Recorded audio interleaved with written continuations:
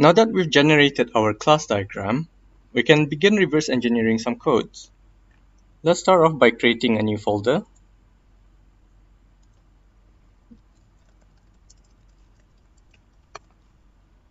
And creating our class files. So the first class is our superclass arrow. We don't need a package. As you can see, our arrow has three variables. They're called tip coordinates, tail coordinates, and arrowhead. And they're a double array.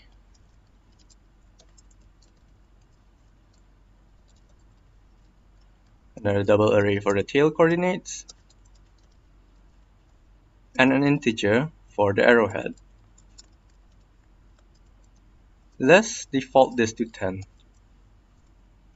And we also have our method. It returns nothing.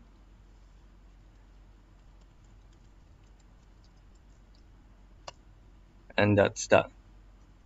Now we need to create our constructor because we'll be modifying the values of these. The constructor is simply the name of the class followed by brackets like so. So I'll be creating two constructors one that takes in the coordinates only and another one that takes in the coordinates and allows you to adjust the size of the arrowhead. So let's begin by taking the coordinates. It might be a bit annoying for the user to construct a double array every time to use this class object. So let's just break down the parameters to be single doubles like this. Tip of x, double tip y, double tail x, and double tail y. At this point, you might want to change your mind about using a double array and just simply using four doubles. But for now, let's just stick with the UML diagram. To access the variable over here, you use this keyword followed by the name. And we're going to be constructing a new double array with values of tip x and tip y. And the same goes for the tail coordinates.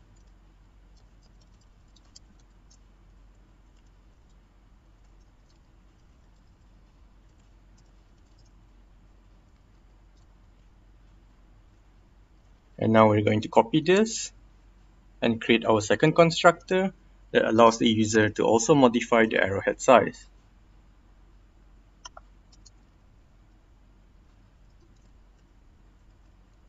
It's convention to use the same name for the parameter as the variable that we want to modify. So in this case, I want to be I want to modify the value for arrowhead size. So I name the parameter arrowhead size.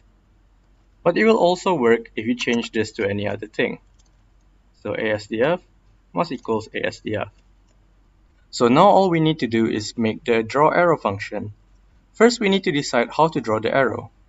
I think we'll be using JavaFX. So first, let's create an M3 point file.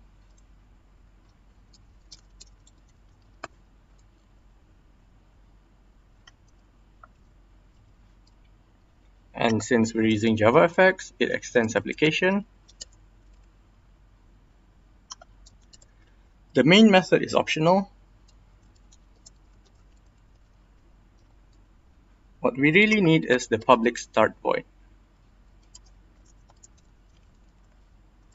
Its parameter is a stage. And it's overriding default behavior for application.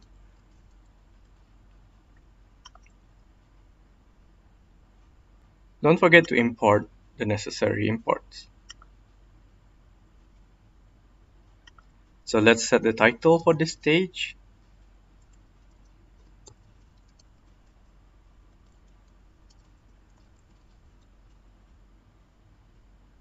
Let's create a default scene. Let's use a group.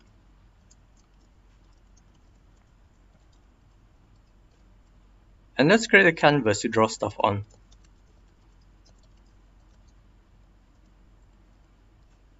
Ideally, we'd scale this according to the user's inputs, but for now, let's just hardcode the size. Finally, to draw on the canvas, we need a graphics context. And since we'll be drawing 2D, we'll need to get the 2D context.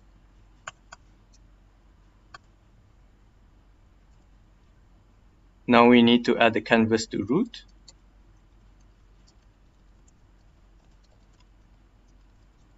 And we set root as a default scene.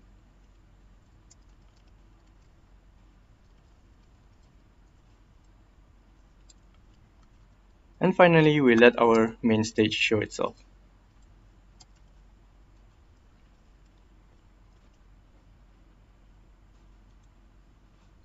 Now that we know we'll be using JavaFX, we need to also gain access to the graphics context. One way to do it is to take it as a parameter of the method, or we can also set it as one of the variables for this class. I'll be choosing the second option.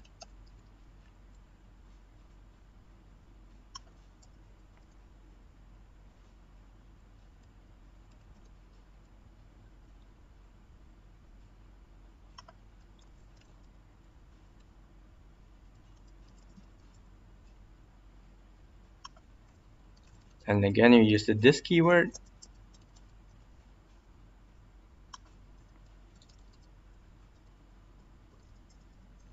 and now we have access to the graphics context. Finally, we can start drawing.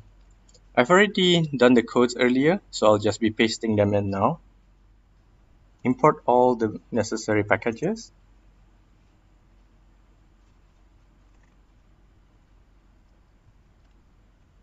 And now we can test our class. Let's create an instance of it.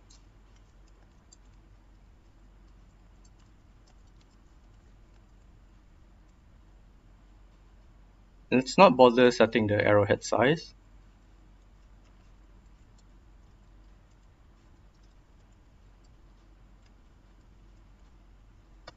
And let's call the draw arrow method. And finally, let's test our application.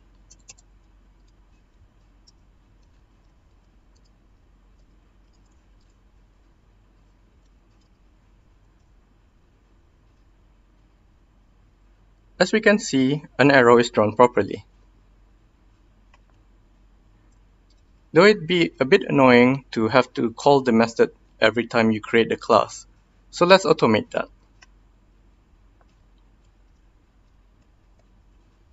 In our constructor, we simply call the method as so.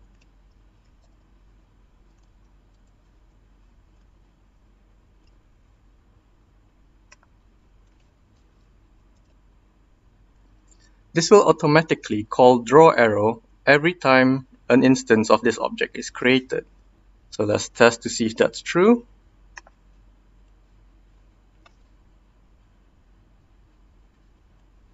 And it is. So now let's create our subclasses.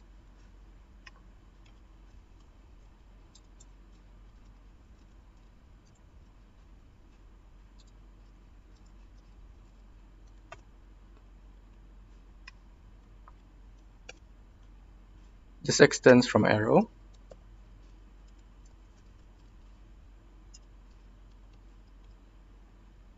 It has an integer called tail size.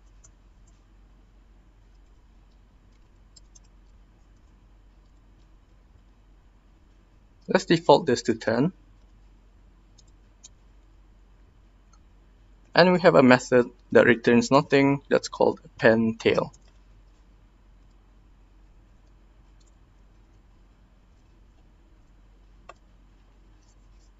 We'll need to create the constructors.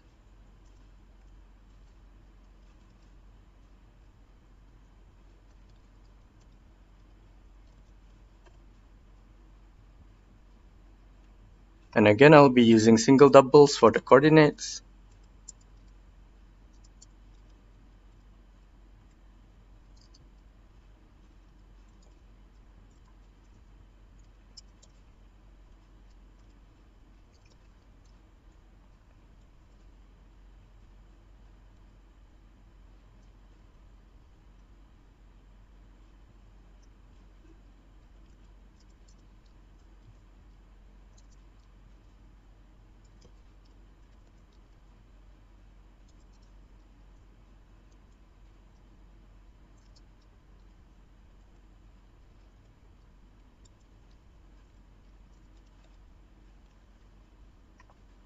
Finally, we can now put this into our superclass.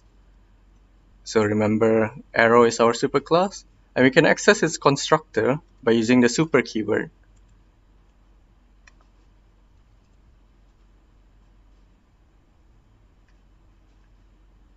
There is another constructor in arrow, so we need to make another constructor here.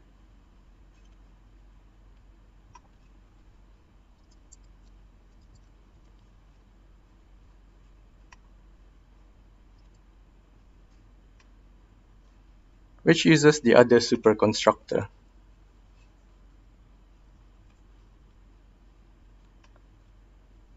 Finally, we also want a constructor that can adjust our tail size.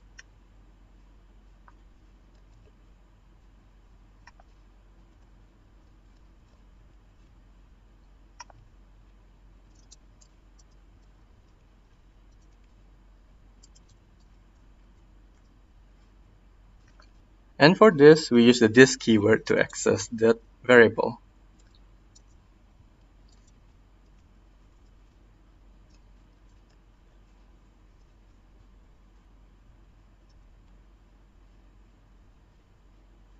Now again, we have to create our append tail method. I've already created the codes earlier on, and I'll be pasting that in. Again, import all the necessary imports. And what this does is, it creates a red tail. So let's test it out. Let's create a new instance of tail arrow 1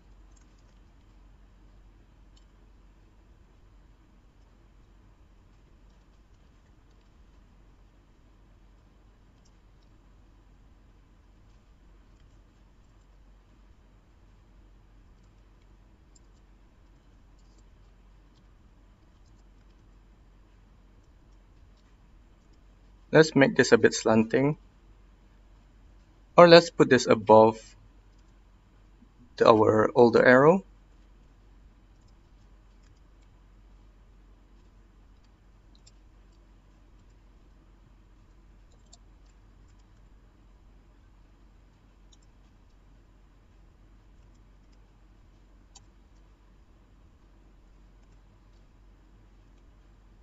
invoke the method to append the tail. And let's try running again.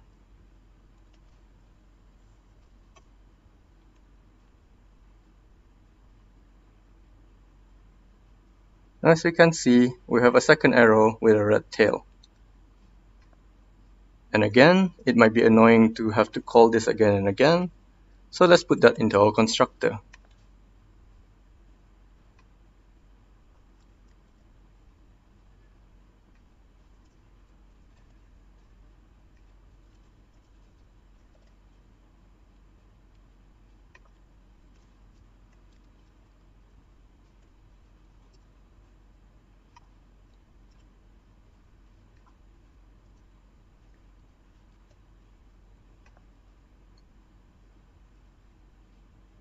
Finally, we can create our third tail arrow.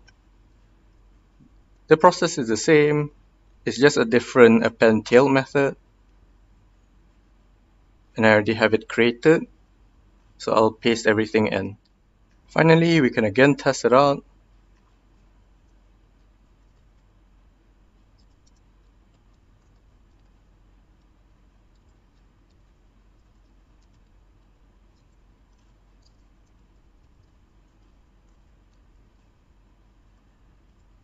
And let's put this even below, even further below our arrows.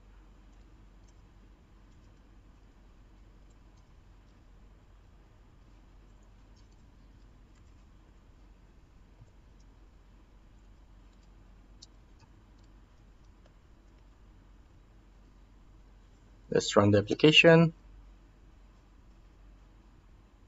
And we can see we have three arrows.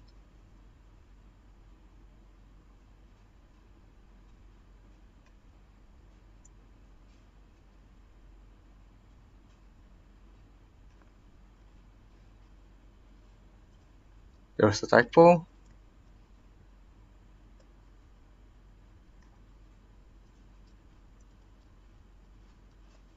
Let's run that again.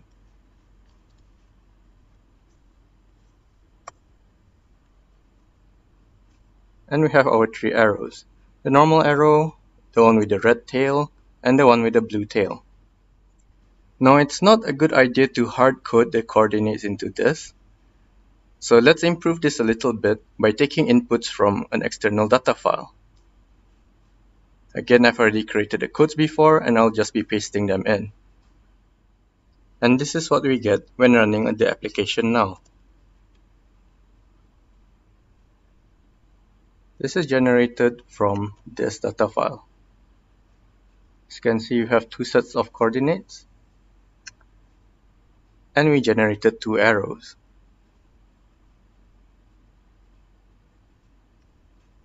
We could also implement logic to choose what type of arrows we want to draw.